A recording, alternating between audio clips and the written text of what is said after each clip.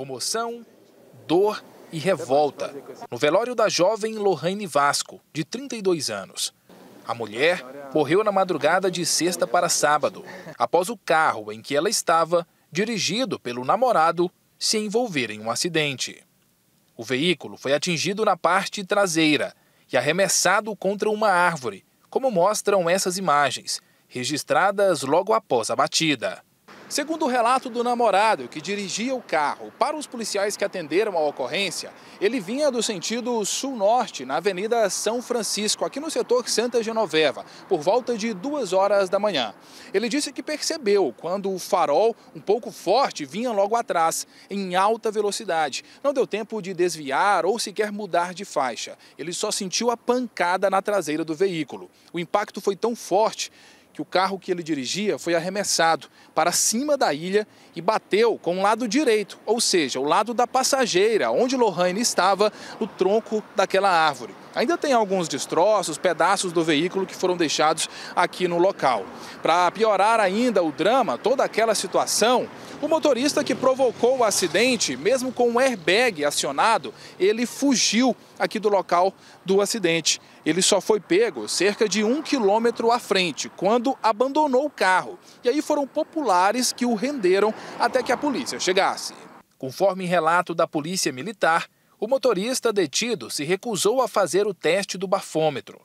Ele foi levado à Central Geral de Flagrantes e depois ao Instituto Médico Legal para realizar exames que pudessem constatar a embriaguez ao volante.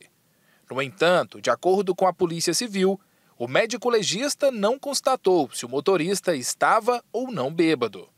A justificativa seria a ausência das vítimas do acidente para eventualmente representarem contra o possível autor.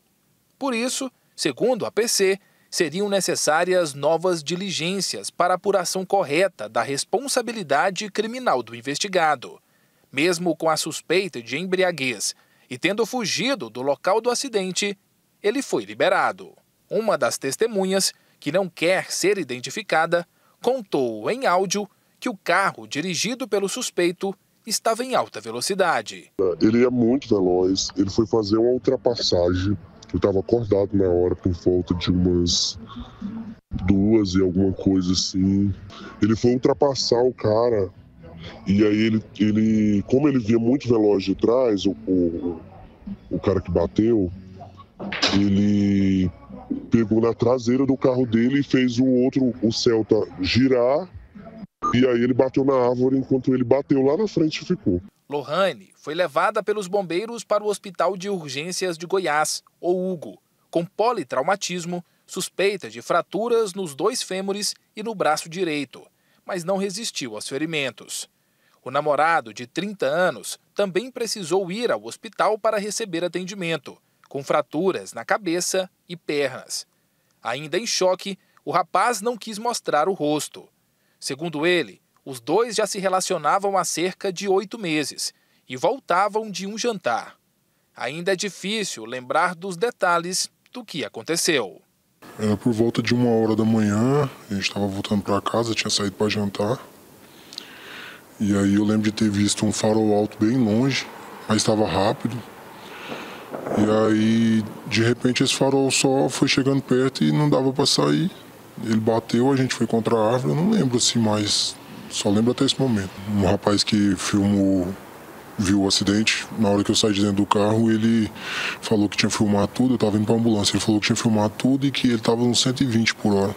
Lohane era formada em administração e trabalhava na Equatorial. Ela foi velada e sepultada neste domingo em Goiânia. O sentimento do namorado e da família é de revolta eles pedem por justiça. Ele cometeu um, um erro que custou a vida de uma filha, de uma irmã, de uma namorada, né? Ele, ele tirou a vida de uma pessoa que era importante para muitas outras pessoas, né? E aí. E agora?